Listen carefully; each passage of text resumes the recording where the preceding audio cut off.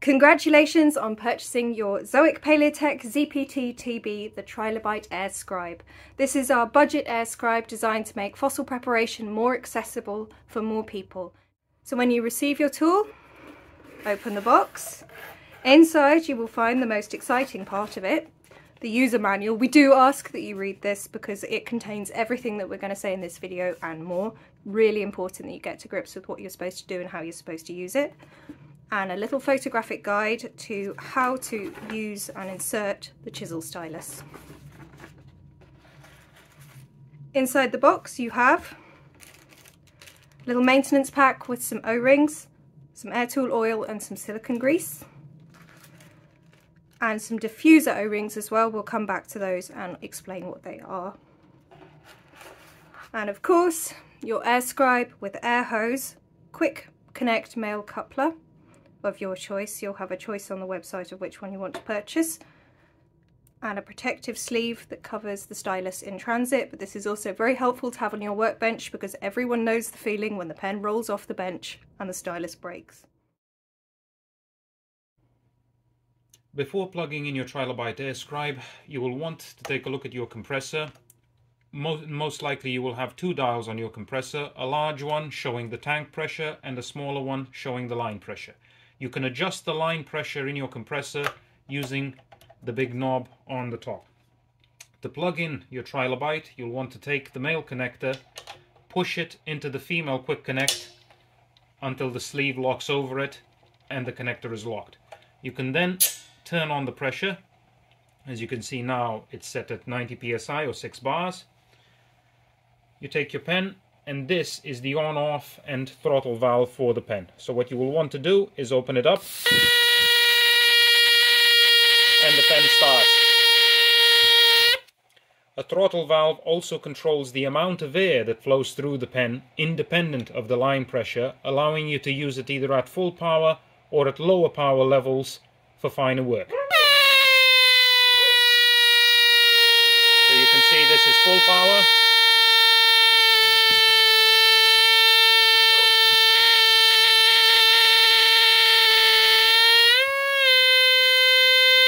this is lower power.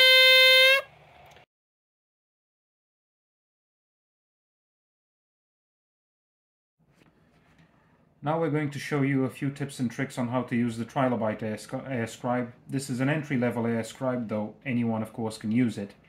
Our first recommendation was something like this, especially if you're a beginner, try not to push too hard as you will most likely run into the fossil and leave dink marks. So in order to turn it on, now it's running at 90 psi. Always try to have it at a lower angle to the matrix. Don't try to do this with it. For the same reasons as with all other air pens, the stylus can dig in and break the tip off or the entire stylus.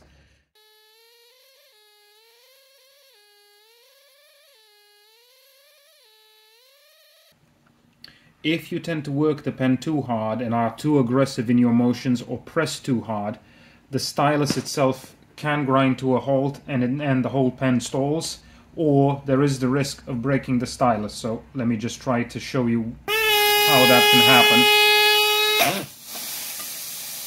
See, I push too hard, the stylus stopped. In order to start it again,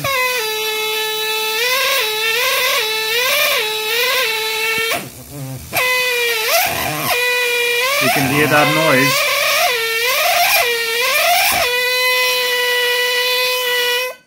That make when it is being pushed too hard.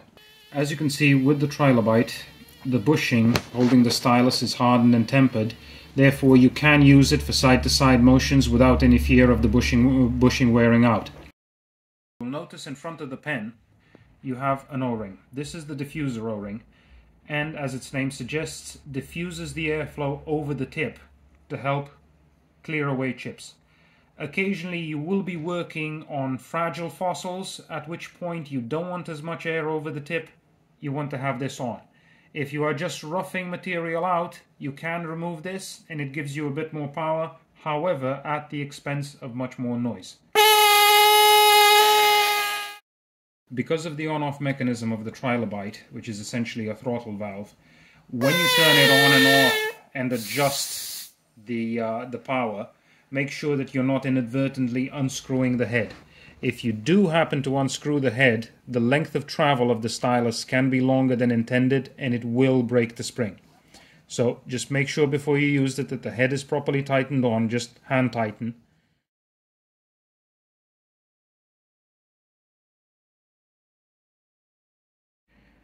Upon receiving the chisel stylus for your Trilobite Air Scribe, you'll also receive this particular spring that has two ears on either end.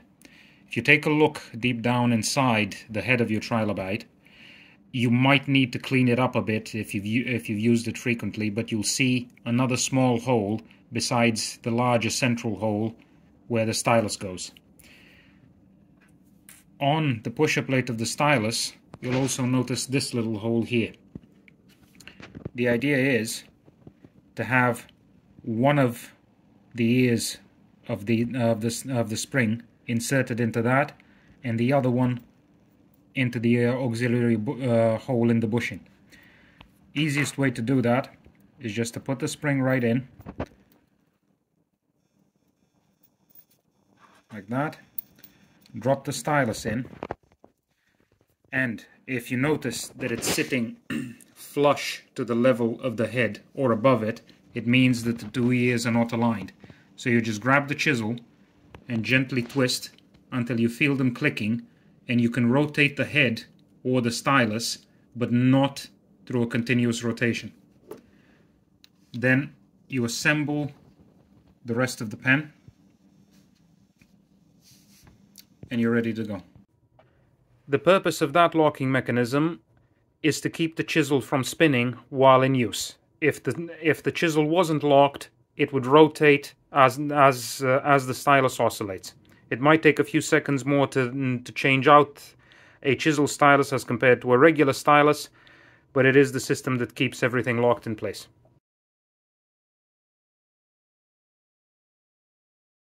We're now going to run you through some ba basic maintenance of your Trilobite Air Scribe. First and foremost, if you use it on a regular basis, you will want to check the state of the O-rings in the pusher plate by unscrewing the head, taking the stylus out along with its spring, and checking to see if this O-ring has any wear on it. Normally these O-rings should last you a very long time, but from time to time, let's say if you use it every day, we would recommend that you take a bit of the silicone O-ring grease, run it on top of the O-ring, just to, just to keep it supple, putting one or two drops of the supplied air tool oil inside of the bushing. Not a lot is required. Run the stylus through a bit. Put the spring back onto the stylus. Reinsert it in the bushing. And screw the head back on. I'll mention I'm doing this on a lint-free surface any uh, paper towels or any clean surface please don't don't do this in your workshop as you will probably get rock dust and powder inside your tool you will want, if you use your pen daily, drop one or two drops of the supplied air tool oil inside, inside the male connector at this end of the hose. In order to do that, you'll want to switch off the line on your compressor, let the air out, at which point you can slide this forward, which will release the coupler, put one or two drops of the air tool oil. It will not need much more. Push it back. Turn the pressure back on. When you receive your Trilobite Air Scribe, it will be oiled from the factory. And also, every time you, you oil it or do any maintenance, you may find that oil comes out of the bushing. In order not to get that on, on your fossil or whatever it is that, that you might be prepping, you'll want to run it into a piece of towel or soft tissue just to get the oil out.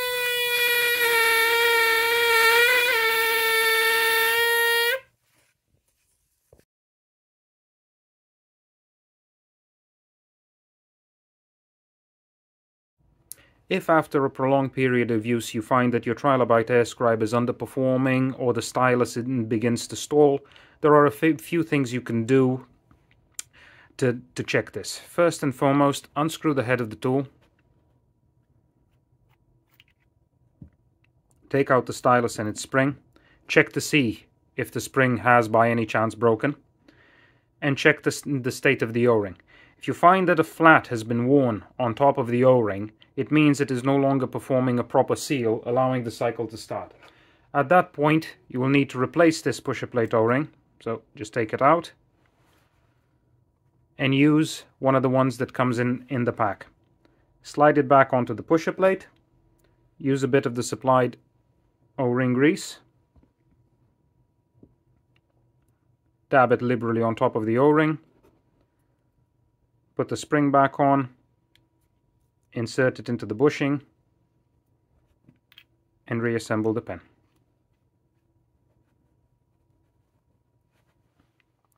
If after you have replaced the pusher, pusher plate o-ring you still find that the tool is underperforming or the stylus is, is stalling, another thing you might want to check for is to see if there is any blockage within the body of the pen. What you will want to do then is unscrew the head, set it aside, check to see if anything is visible within that small hole. If it is not, unscrew the pen from the hose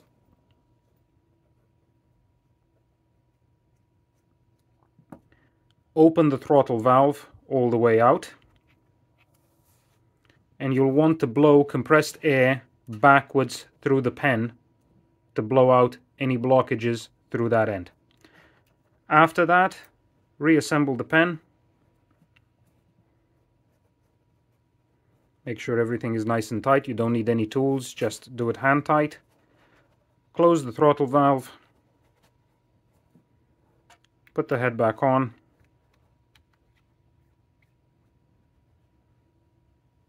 plug the pen in and run it. If after having replaced the pusher plate O-ring and checked the orifice inside the pen you still find that the pen is underperforming and the stylus is stalling, another thing you want to check for is if there are if there is any de debris on the stylus. So you will want to take the head off the pen, take the stylus out, take the spring out, and gently run it through the bushing. There should be extremely little resistance to none and a smooth feel to the inside of the bushing. If you do find that you have bits of debris and rock dust onto, onto the stylus shaft, you want to use some acetone or some isopropyl alcohol, even fairy liquid. Just give it a gentle, gentle scrub. Make sure it's clean. Take a couple of drops of air tool oil, put them into the bushing run the stylus through. Again checking to checking to feel if the movement is nice and loose. Put the spring back on. Insert it into the head making sure it seats properly. So you will want the pusher plate below the top level of the head. Screw it back on. Plug the pen in and run it Thank you so much for watching this video and we really hope you enjoy using your Trilobite Scribe.